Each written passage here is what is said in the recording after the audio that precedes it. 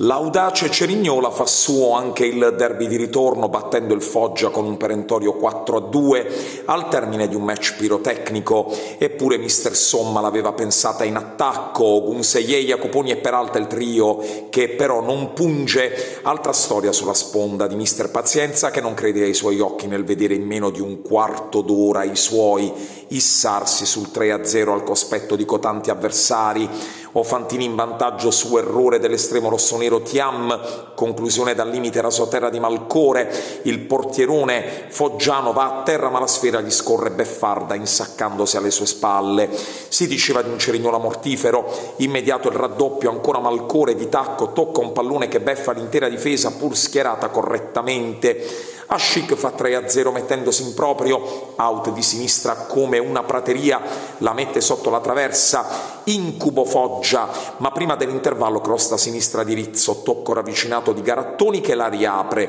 L'inerzia si inverte completamente in avvio di ripresa, dopo che Ogunseye si procura un calcio di rigore che Peterman trasforma per il 3-2, finale infuocato, spegne i bollori, però Malcore che decide di chiuderla, riceve palla, elude difensore e portiere sigla il 4 a 2. Spettacolo al Monterisi, due squadre che diranno la loro sino in fondo.